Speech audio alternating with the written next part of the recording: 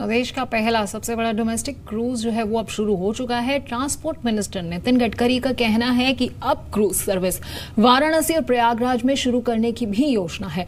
Transport minister Nitin Gadkari से खास बातचीत की हमारे संवाददाता अनुराग शाह ने। आ, सर सबसे पहले तो बहुत बहुत बधाई एक नई शुरुआत के लिए। तो कितना बड़ा इसे देखते हैं और क्या आने वाले वक्त में हम माने कि जिस तरह से मुंबई गोवा के लिए क्रूज शुरू हुआ है तो और भी देश के अलग अलग हिस्सों में इस तरह की सेवाएँ शुरू होगी जिससे जो वाटर ट्रांसपोर्ट है उसको और बढ़ावा मिल सके। हमारे देश में साढ़े सात हज़ार किलोमीटर का सी फ्रंट है और अब बीस हज़ार किलोमीटर की रिवर लिंक को हम जलमार्ग बना रहे हैं। गंगा में ऑलरेडी सोलह सौ अस्सी करोड़ हमने काम किया है। अगले साल मार्च में वो भी सब शुरू वैसे अभी शुरू हुआ है। Five star, seven star cruise उसमें है। और अभी इलाहाबाद से वाराणसी भी कर रहे हैं। उधर बाराक का हमने पूरा ड्रेजिंग किया है। ब्रह्मपुत्रा का लगभग ड्रेजिंग काफ़ी जोरों में शुरू है। मुझे लगता है आने वाले समय में जलमार्ग के कारण लॉजिस्टिक कॉस्ट कम होगी। हमारे देश में लॉजिस्टिक कॉस्ट अठारह परसेंट सोलह से अठारह परसेंट है।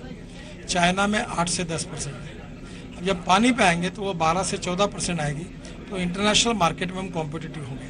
अब वाराणसी से हमारी शक्कर बाहर जा रही है। हमारे यहाँ कोयला आता है वहाँ फराक्का में और वहाँ फ्लैश बांग्लादेश को एक्सपोर्ट हो रही है। करीब आठ लाख टन का माल अभी वाराणसी से गया है।